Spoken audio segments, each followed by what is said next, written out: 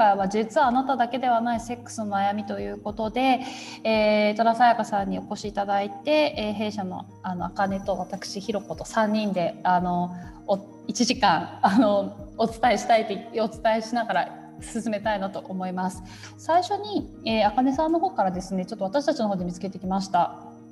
えー、JEX ジャパンセックスサーベイ2020というのがございましてそちらの説明とそちらがですね実際に行った調査結果で最後にあのみんなでディスカッションをしながらこういう悩みって実は抱えてるよねっていうのをシェアしていきたいなと思っています。で今日の目的なんですけれども、えー、大きく2つ設定させていただきました。1つはセックスの悩みは多様であって個々によって異なるとっていうことを知っていただきたいなと思ってます。でもう1つが、まあ、ちょっと上にもつながってくるんですけれども自分だけかもとモヤモヤや悩みを飲み込まずに解決の選択肢があるっていうことを知っていただければなと思っています。で今日のスペシャルゲストなんですけれども、えー、と8月にですね弊社の方でもあのセックス東京というイベントもやらせていただいた時にもですねご登壇いただいたんですけど戸田沙耶香さんにいらしていただきました。戸田さんもしよろしければお願いします。はい。なんか今日が今年最後って今初めて知っておそんなスペシャルな時に呼んでもらってありがとうございます。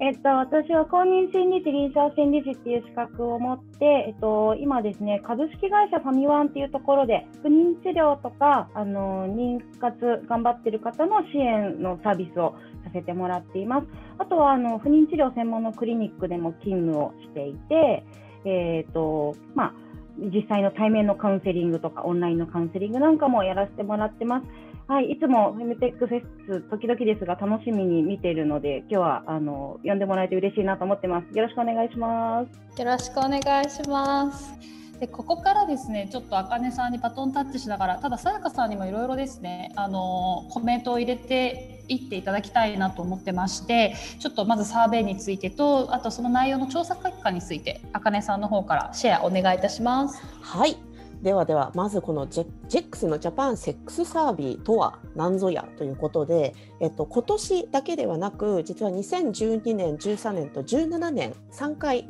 えーと、続けて JEX 株式会社からの依頼を受けてめっちゃ長い、えーと、一般社団法人日本家族計画協会家族計画研究センターが実施している調査です。でえーと、全国の満20歳から69歳、まあ、成人の、えー、男女5000人を超える性の大規模調査となってます。でインターネットを通して、まあ、やっぱり普段多分こう面と向かってとかことではなかなか言えないような悩みもあのオンラインだからこそあのみんな正直に答えてくれるかなという思いも込めて、えー、セックスの回数人数時間や、えー、マスターベーション性交時のトラブルやセックスレスなどについて、えっとまあ、多分友達とか家族とも語りにくいことだし性教育の現場でもなかなかこう取り扱われることのないいろんな日本人のセックスにまつわる本音をピックアップした調査となっています。で、えーと、いよいよ本題の調査結果に入っていくんですけれどもあのすごくこう膨大なデータがたくさんあって全部をピックアップするにはなんか1時間ではなかなか時間が足りないんじゃないかということであのフェルマータが気になった調査結果をいくつかピックアップしたのでご紹介していきます。えー、まずは日本人のセックス経験と頻度なんですけれども、えー、あなたはこれまでにセックスをしたことがありますかという質問では、えー、男性の86%女性の89.4%があると回答してます。ここはそんなに差がないですね。で、えーと、1年間でのセックス回数の質問では男性の41.1%女性の49.5%が1年以上ないと。なので、えっと、セックスレスの定義に当てはめるとえー、男性の男性も女性もおよそ6割程度がこれに該当することになり、まあ、年齢が上がるとともにこのパーセンテージも高くなっていくと。へそう。で1年以上セックスしていない方に、まあ、どれくらい前からかと聞くと男性は平均8.7年女性は平均9.6年。なので10年近く。でこれはもう本当にその満20歳から69歳までの全体のあの中で出した年数なのであのそれにしてもやっぱり平均そっか10年近くもうセックスレスの方がいらっしゃるんだということであのこのセックスレスの定義っていうところも私ちょっと気になってパパッと調べてみたんですけど、えー、日本性科学会が1994年に、えー、と定義したえー、セックスレスというワードは特殊な事情が認められない限り例えば病気でとかにもかかわらずカップルの合意した成功あるいはセクシュアルコンタクトが1ヶ月以上なくその後も長期にわたることが予想される場合と。ただ、えっとまあ、代表して一応欧米からアメリカを見ると、えー、アメリカの、えー、ドクター・レイチェル・ベッカー・ワーナーという、えーと、ミネソタ大学のえー、PhD の方なんですけれども、えー、彼女はセックスレスとカップルの間での性的に親密なコンタクトが1年の間に10回未満だった場合を指すというふうに定義しているので意外と日本のこのセックスレスの定義って厳しいなって思って 1ヶ月なかっただけでもセックスレスって定義されてしまうのかって思ったので、これを考えるとなんか例えば日本って本当にセックスレスのカップルがすごく多い多いとかっていう記事をたくさん見かけるんですけれども実はそうじゃないんじゃないかなってこれを見て思い始めたんですけれども。あのさやかさん。うんうんあすみません。あの、ここのねセクシャルコンタクトっていうのが入っているのがちょっとポイントで、はいはい。あの性交渉ってセックスっていうとあのやっぱり挿入するっていうイメージがあると思うんですけどセクシャルコンタクトってロマンティックな体の触れ合いを含むんですよね。キスとかペッティングとか。性的な触れ合いのこと。だからそれそれもないっていうのがこの定義に含まれているので、えーと、そんなに、ね、あのアメリカの定義に比べて厳しいっていう感じではないかなって思うんですけど一般的に見るとセックスレスって挿入をしてないっていうもうそういうイメージが多分あるのでこの JEX のジャパンセックスサーベイとかもあのセックスしてますかとか性交渉してますかって言われちゃうとあのセクシャルコンタクトを含まないっていうイメージで回答してる人は多いんじゃないかなと思いますね。なるほど。ここは完全に私も盲点でした。うん、私もです。私むしろそそこもそうですし、カップルってカップルじゃなきゃダメなんだって、なんなんですかその。はいはいはいはい。うんうん、そのセクシャルコンタクトっていうのが、うん、そのパートナーありきのね、うん、ものっていうふうに定義されてるっていうことでもあるってことですよね。うん、そうですね。うん、これは意外な発見でした。確かに今のひろこさんのあのセルフプレジャーはどこに入るんだっていう話になるとアメリカも日本もあのセックスレスの定義には多分セルフプレジャー入んないんですよね。なるほど。じゃあパートナーありきでの、うん、まあ、挿入もしくは、まあ、そういう傷だったりとか手をつないだりとかっていうセクシャルコンタクトが、まあ、1か月以上もしくはまあ1年の間に10回未満だったっていうふうに定義されてるってことですね。うん、これは多分ほとんどの人は多分挿入をイメージしている方が多いでしょうね、多分こういうアンケートで聞かれたりとかすると。うん、なるほど。新しい学びがまた ありました。はいで、えーと、セックスの目的なんですけれどもこれ男女でやっぱりちょっといくつか差があって、えーと、3つ主要なものをピックアップしてくださいって男性に聞くと1位が性的快楽のため2位が愛情を表現するため3位が触れ合いのためというふうに出ていてこの1位の部分でやっぱり一番男女の間で差が大きかったんですけれどもこれをあの女性側の方を私見て男性の方と比べた時に、まあ、その全体的な差は大きいんですけれども男性も女性も40代がピークだなってこの性的な快楽のためっていうポイントが。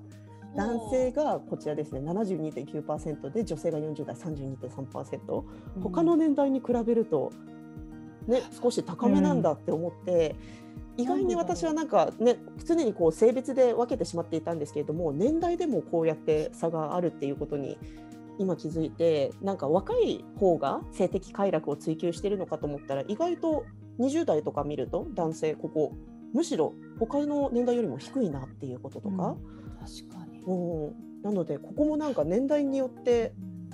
だんだん例えば上昇していったりするもんなんですかね平均的には。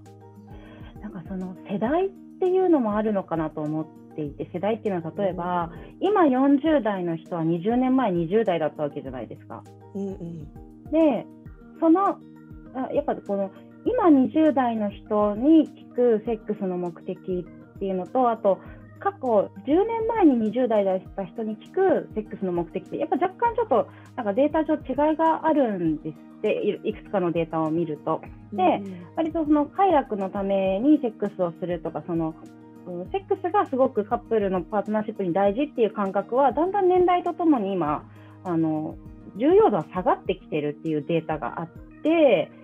でむしろこう今40代とかあの50代ぐらいの人たちの方がその快楽とかこのうん性本当に性的な目的でセックスをするっていう意識が強かった世代だっていうのも一個言えるのとあとその女性の40代がその快楽のためのセックスの割合がちょっと多いっていうのポイントが多いっていうのはあの逆に20代30代の人だともう結婚した後子供を授かるためのセックスっていう感覚が女性は結構